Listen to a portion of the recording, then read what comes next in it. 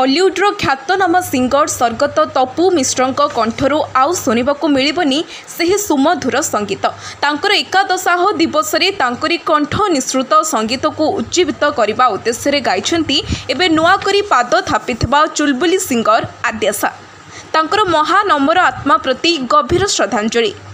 ତେବେ ଆସନ୍ତୁ ଶୁଣିବା ଆଦ୍ୟାସଙ୍କ କଣ୍ଠରୁ ସ୍ୱର୍ଗତ ତପୁ ମିଶ୍ରଙ୍କ ଉଦ୍ଦେଶ୍ୟରେ ଏହି ସୁନ୍ଦର ଗୀତଟି।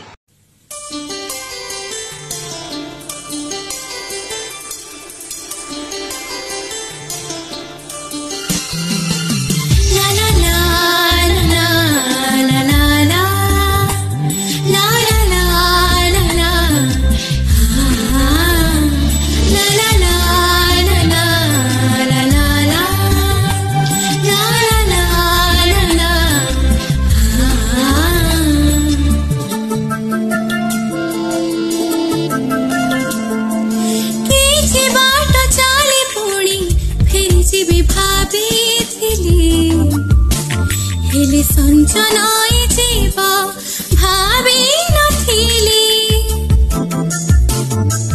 ଗୋଟେ ରାତି ପାଇଁ ଖାଲି ଦୀପଟିଏ ଜାଳିଥିଲି ହେଲେ ହାତ ଜଳିଯିବ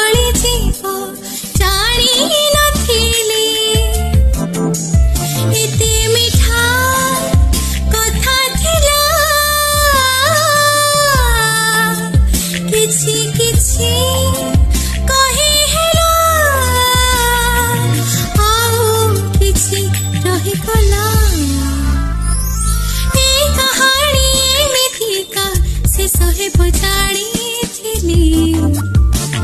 थिली आँखी भिजे जीवन